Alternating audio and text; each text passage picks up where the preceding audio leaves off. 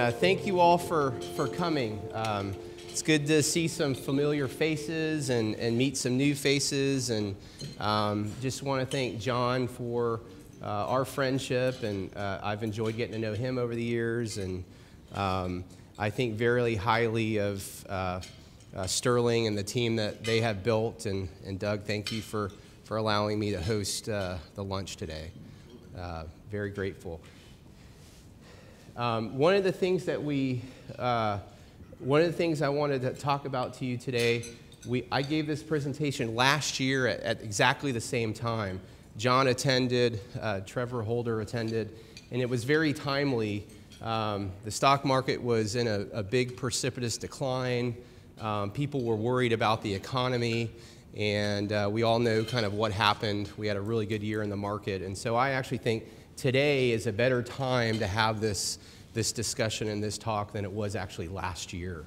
Um, so here is kind of the agenda. What I'd like to do is kind of review 2019, um, walk you through kind of the, the issues uh, for the year. Then I want to really look at the economy and look at the, the hard data. I'm going to use a lot of uh, St. Louis Fed uh, public information, you know, macroeconomic data that you all can uh, access yourself. And then I have a couple charts on the presidential election cycle. Um, and then I want to talk about specifically the stock market and, and maybe how you should think about that going forward and where we go from here. And then I'll kind of give you some, some final thoughts and, and putting all the pieces together. Um, so, my, my goal today is to give you a couple nuggets. You may not get everything, there's about 50 slides, but if you can get one or two things that can help you in your business, maybe make an investment decision or make a decision you know, based on a, a new purchase or a, a new uh, equipment or something, that, that will maybe help you in terms of a framework. Um, a little bit more background about me. Um, I started my business or my individual practice about 10 years ago. We manage about $80 million of um, individual, family, and then um, you know, really entrepreneurial or business owners' uh, wealth. We help them with both customizing portfolios and then helping them make wise choices. Um, I'm a value investor, so I've structured my business um, and set up like Warren Buffett. So we, we try to make decisions based on value versus price. Um, I am a Harvard Business School alumni and I'm currently finishing my, my doctorate degree at the University of South Florida. And my dissertation research is actually on Warren Buffett, so i would be happy to talk about that afterwards if you'd like. Um, and I've published two academic papers, one on insider trading and how to use that as a tool, um, and then also on corporate brand and, and looking at a lot of stuff that Warren Buffett's done with Coca-Cola and American Express and, and how to um, look at investment decision making. So let me frame, you know, part of the, the discussion today is think about where you were in kind of the December of 2018. I was getting a lot of phone calls. People think, you know, the sky was falling. Um, just as context, uh, October, November, and December was the worst quarter in 2018 since the financial crisis. And then specifically, December of 2018 was the worst month since 1934 in the stock market. So people were freaking out, people were worried, and the whole concept of this presentation was you know, I was thinking um, in my office, you know, how can I explain to people that there's a disconnect between the economic data and the, the price of the stock market? And so that's how I came up with the presentation. You can see here, this is a chart of the S&P 500 for 2018 for the whole year. The peak was in October. We fell pretty precipitously in December. Um, and people were worried about their retirement. They were worried about making investment decisions for their business. And you know, you all know how the, the story ends. Um, so what I try to do today was to think about what did, what did we experience and what type of example could this be? And I thought about the concept of a fire drill. So I really think in Q4 of 18, we had a fire drill. So think about the last time you guys experienced a fire drill. Was it in, in high school or was it in preschool or maybe when you were a professional? You know, the bell rung, you had to walk outside, wait a little bit, they did the all clear sign, and, and, uh, and everybody came back. Uh, for me specifically, I remember I was eight or nine. I was traveling with my dad in Houston, Texas. We lived here at the time. We went and saw a, a late movie. We got back to the hotel around 10 or 11. We went to sleep, and around 2:30, the bell went off. We ran downstairs, had to go outside in the middle of the night, and excuse me, waited and, until they said it was all clear. So I think this is a good illustration of what did happen was a fire drill. The next time could be a real fire. And then, so the question is, how will you react? What will you do? Um, the, the next message here is kind of, you know, I look at my job as an advisor is, you know, our job is to think. So we need to distinguish fact from fiction. And um, clearly, during the, uh, the internet era, there's a lot of information. Um, this is a, a blurb that Justice, Justice Chief John Roberts came out with of the risks and dangers of misinformation in the internet era. And, um, you know, the iPhone has been out for about 10 or 11 years, and this is the first kind of cycle, 10 year cycle, where, you know, we get beeped every five, 10 minutes where the market's up 100 points, the market's down 100 points. And I, and I think it's just very disconcerting if you're a long term investor or you're making long term you know, decisions for your business. Um, so, you know, our job is to distinguish, you know, truth from fiction and, and look at more of the data versus kind of the daily reactions to prices and fears, et cetera. So starting in 2019, uh, the odds of a recession uh, were over 25% in the next 12 months. Um, you can see here the, in, the yield curve inverted. So if you look at any classical finance textbook, uh, that meant there was a looming recession um, you know, uh, coming. After that, we had the Fed um, cut interest rates three times, and the yield curve uh, went back to a normal shape, which was positive. That drove some uh, positive performance in the market and the economy. We also had a lot of private companies try to go uh, public before the market potentially closed or the window closed. We had Uber and, and Lyft and Peloton uh, all come out in 2019, and uh, they're all, their prices are all below their, their IPO price currently. Um, we had trade tensions and tariffs between the US and China. Um, you can see here, it started kind of in May and then in September, then we had our first delay in October, and then we finally had uh, some cancellations in December of 2019. And then we had four major events uh, in December of 2019. Uh, the House of Representatives impeached President Trump. Uh, the USMCA trade agreement uh, was passed with Mexico and, and Canada. Um, we had the phase one trade deal with China. I think that's nearing completion next week, I believe. And then finally, and this really just snuck in, and this is the Secure Act, which is effective now, um, and it addresses a whole bunch of changes to IRAs and retirement plans from retired minimum distributions and other things. I have a slide uh, later in the presentation with the details on that. Um, you can see this is a price chart of, of the market for the year. Uh, we finished above 3,200 in the S&P 500 and the 10 largest companies represented about 25% of the index.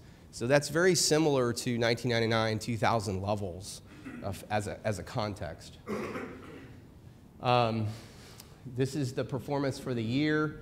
The S&P 500 was up about 29%, the Nasdaq was up 35%, and the Dow Jones was up 22%.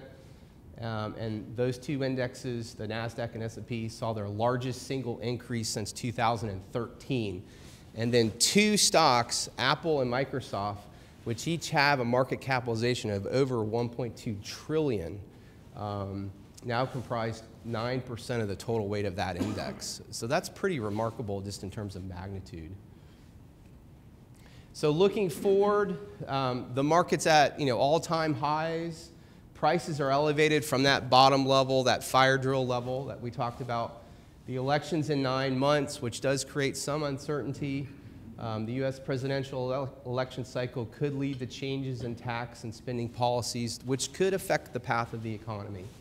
Um, so let's kind of drill down and look at some, some real hard economic data as underpinnings.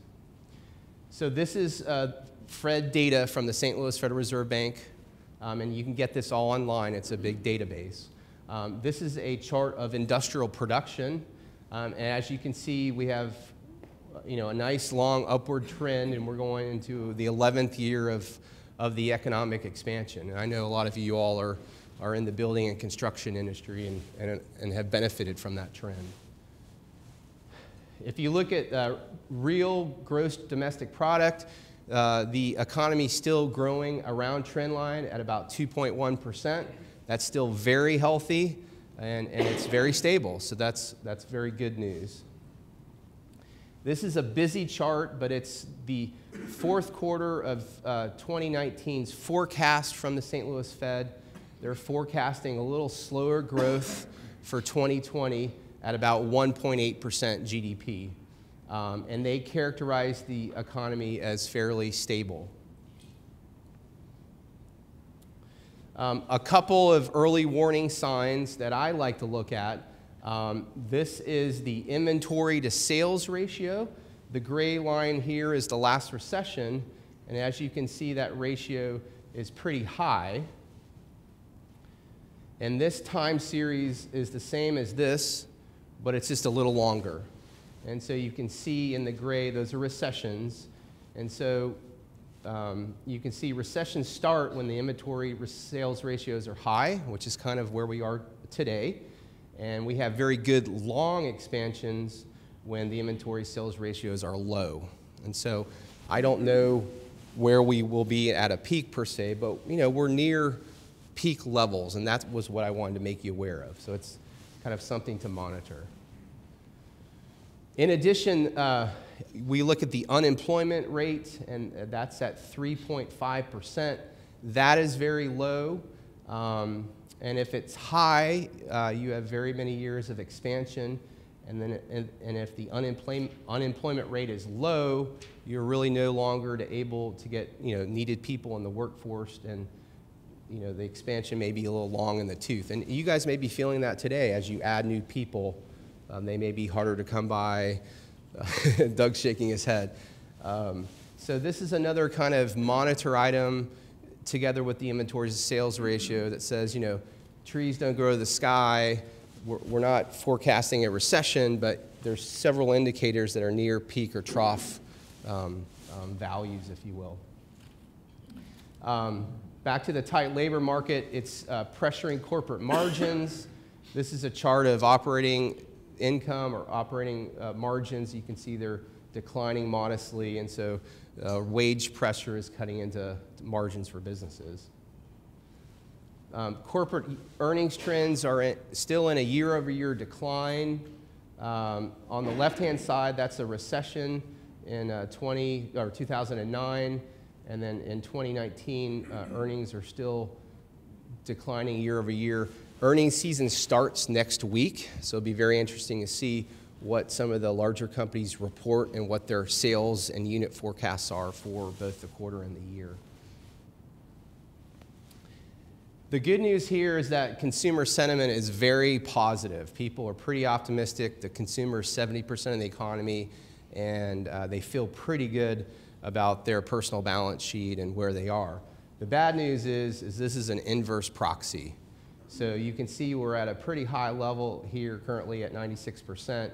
Um, the highest level that's recorded is 107, but usually when the consumer is very optimistic, we're closer to a peak than a trough, and when the consumer is very negative or pessimistic at, at 55, we have a long period of expansion ahead of us. So it's very counterintuitive and, it, and it's a lagging indicator, but the consumer does still feel pretty good. So let's switch gears and, and talk a little bit about um, the presidential election cycle. I have three charts. They're a little busy, um, but these are rules of thumb, um, and they all come from the, the Stock Trader's Almanac, which is an annual uh, book that you can purchase. Um, but the two rules of thumb that are most important here is the market is better when a sitting president runs for reelection. And the second one is the first five months is better when the party retains the White House. So, with that as kind of a, a backdrop, um, this is the four year presidential election cycle. That's not new news. but the third year of the presidential election cycle, which was last year, is usually the best year for the market. Um, this is a chart that has both the Dow Jones Industrial Average percent gain and the NASDAQ average percent gain. And you can see here in the pre election year, uh, it's usually up about 15.8% for the Dow and about 28.8% for the NASDAQ. We had a little bit better numbers there last year. And then the election year, which is this year, 2020, uh, the average gain is much less. And then finally, on the presidential election cycle, this really shows the difference in how election years behave. If you focus on the red line, this is for the Dow Jones Industrial Average. Um, if there's a sitting president running, usually the market's up about 10%, and that's contrasting kind of an open field, which is the jagged black line, which the market is, is down about 1.6 or 2% on average.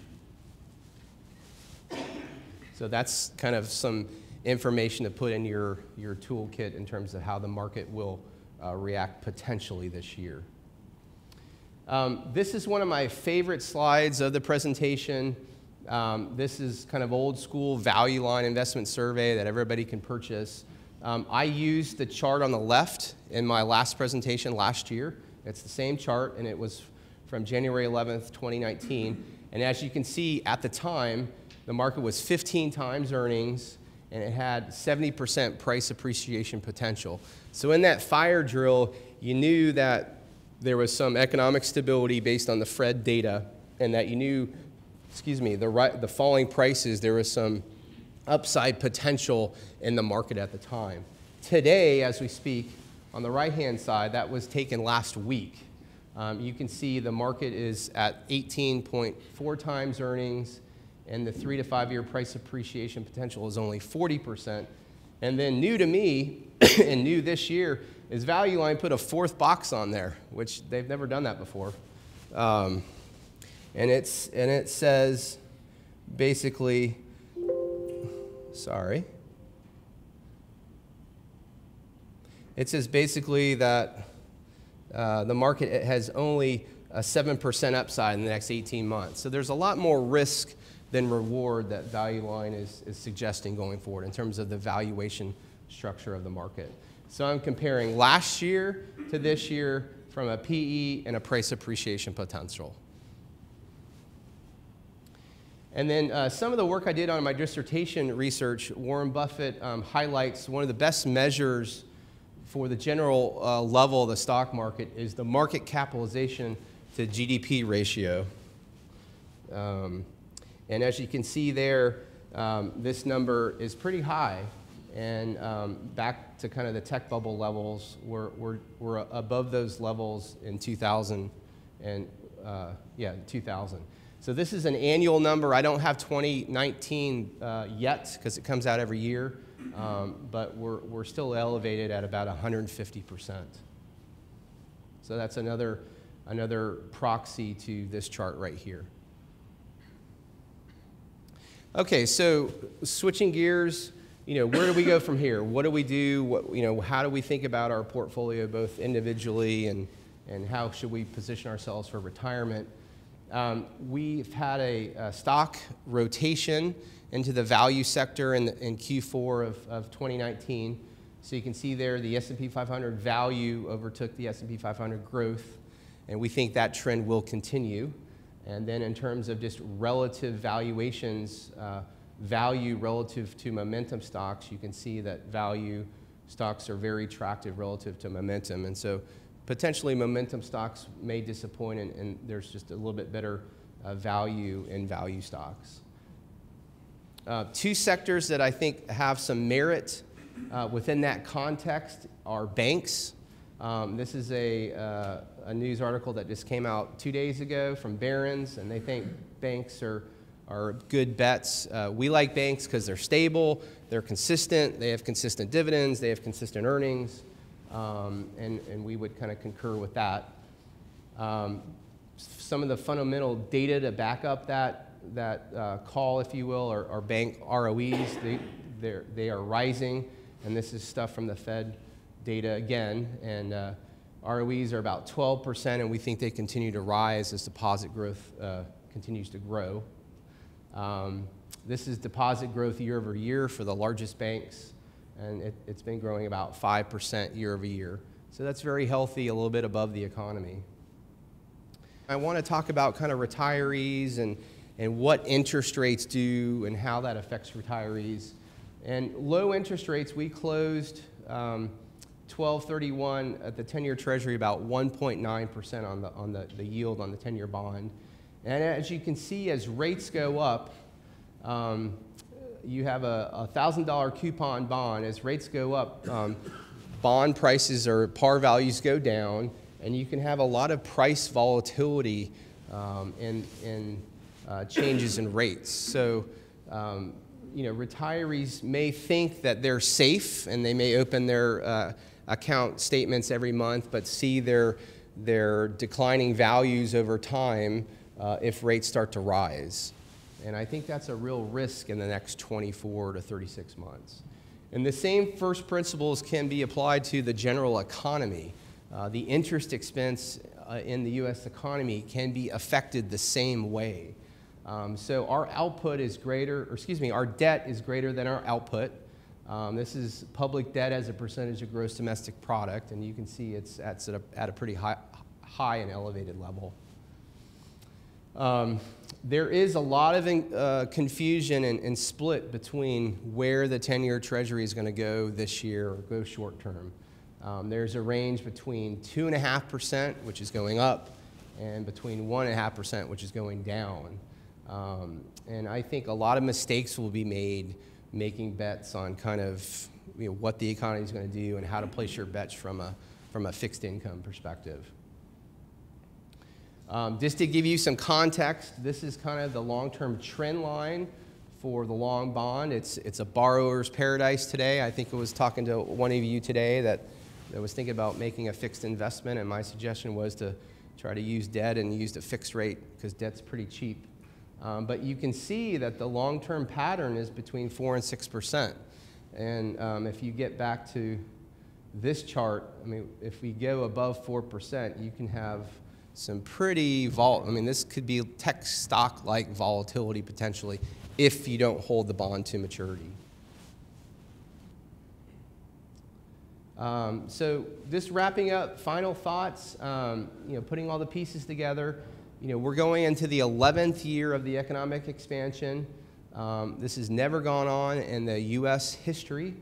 Um, expansions don't continue forever. Um, and usually after expansions, contractions occur and, and prices fall. So I am not negative, but I'm very aware that trees don't grow the sky and, and you have to be forward looking in terms of what your expectations are. Um, from a portfolio construction, I, you know, I think as, cash is an asset class. I'll say that again. Cash is an asset class. Um, you know, you, you all should think about setting aside some cash today if markets pull back uh, and you can take advantage of that pullback, sort of like the fire drill that we had in Q4 of 18. And then I would have a specific strategy this year for raising cash um, for your portfolio. So if you do it each month or you do it each quarter, but that will improve your margin of safety and kind of reduce your risk exposure. Um, I would have a value tilt this year um, and, and, think potentially that some of these hyper growth companies may disappoint. I do like banks and big energy. And then, and then finally, this is just a bigger picture is, you know, we could have a fire, a real fire in 2021. And you've experienced a fire drill and just think about you know how you will, react both from a, uh, a, personal investment decision and then also for your businesses and you know will you pull back or will you want more cash in terms of a treasure chest? Or you know how would you like to position your business in the next 24 to 36 months? Um, so that's all i have uh, today. Would love to take your questions and, and have a dialogue. And um, my goal is just to kind of give you some things to think about and, and uh, have you make some wise choices uh, the, for the next year.